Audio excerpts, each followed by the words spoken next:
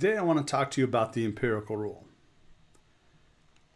So the empirical rule is uh, similar to Chebyshev's inequality in that it's going to tell us how likely it is for a number to be a certain number of standard deviations away from the mean. But it improves on those limits dramatically, okay, with the caveat that the population that you're looking at must be normally distributed, okay, and the normal distribution is the prototypical symmetric distribution.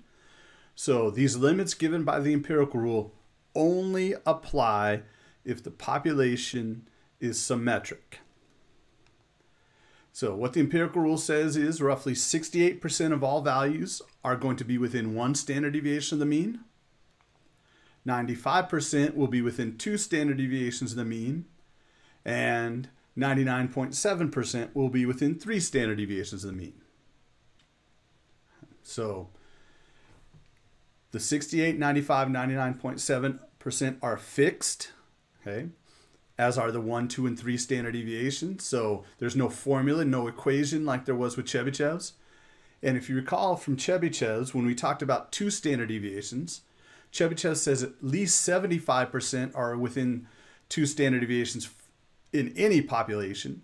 But if the population is symmetric, now the empirical rule tells us that we can do a lot better than that 75%. We know that it's approximately 95% that will be within those two standard deviations of the mean. So if we start at the mean mu and we go forward and backward, one sigma, so add sigma, subtract sigma from the mean, the empirical rule says 68% of the values will fall within that one standard deviation of the mean. So we got two standard deviations, so a distance of two sigma from mu in each direction. As long as we have this nice symmetric curve, remember symmetric has a peak in the middle, falls off evenly on both sides, then we're going to have 95% of the values fall in that range. And 99.7% of the values will fall within three standard deviations when we have a symmetric normal distribution. So if it's symmetric but not quite normal, the numbers will be slightly off, but it's still a really good uh, general rule of thumb. Okay, so 68, 95, and 99.7%, 1, 2, and 3 standard deviations, not going to change.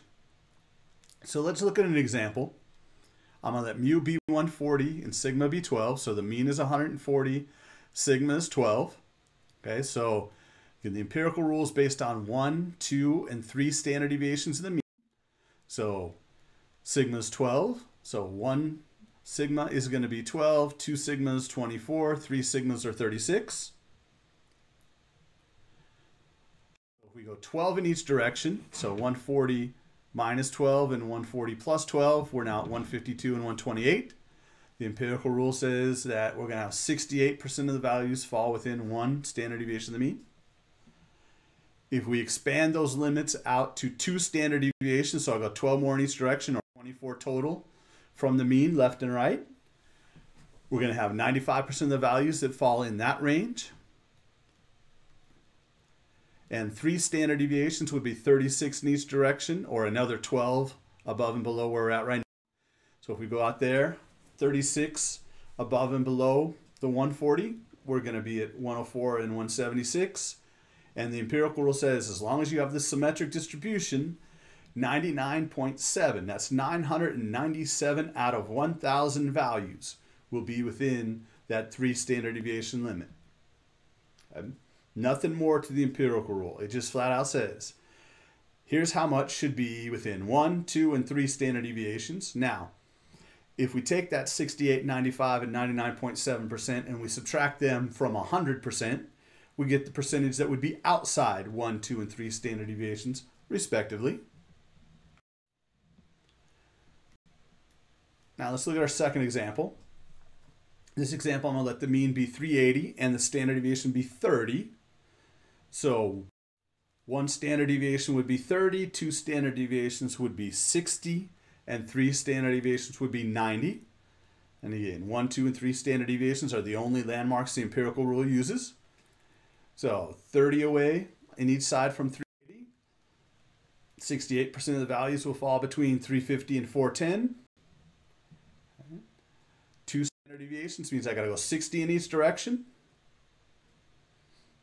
And three standard deviations go 90 in each direction, and I pick up 99.7% of all the values.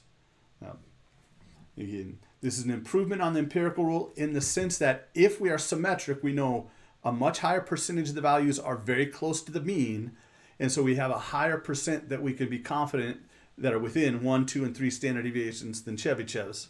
Chebyshev's gives us an absolute minimum. The empirical rule says we're going to exceed that minimum by quite a bit if the population is normally distributed.